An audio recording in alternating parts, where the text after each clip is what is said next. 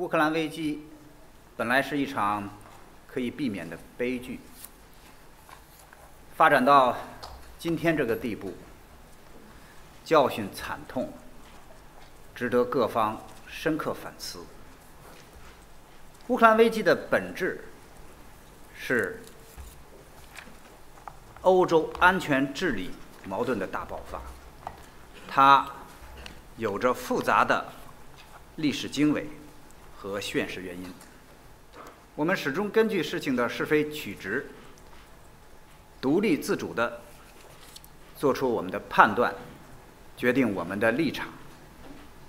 在和平与战争之间，我们选择和平；在对话与制裁之间，我们选择对话；在降温与拱火之间，我们选择降温。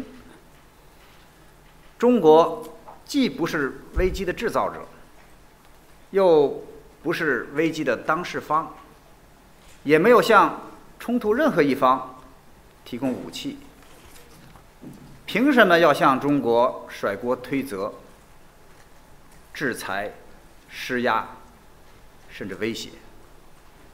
对此，我们绝不接受。前几天，我们发布了。关于政治解决乌克兰危机的中国立场文件，提出尊重各国主权、摒弃冷战思维、停火止战、启动和谈等十二项主张，核心就是劝和促谈。然而，令人遗憾的是，劝和促谈的努力一直遭到破坏，似乎有之。看不见的手，在推动冲突延宕升级，借乌克兰危机达到某种地缘政治意图。当前，乌克兰危机到了紧要关头，要么停火止战，恢复和平，走上政治解决的正轨；要么。火上浇油，扩大危机，陷入失控的深渊。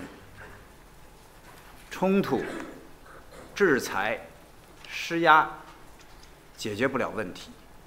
现在需要的是冷静、理智对话。和谈进程应该尽快开启。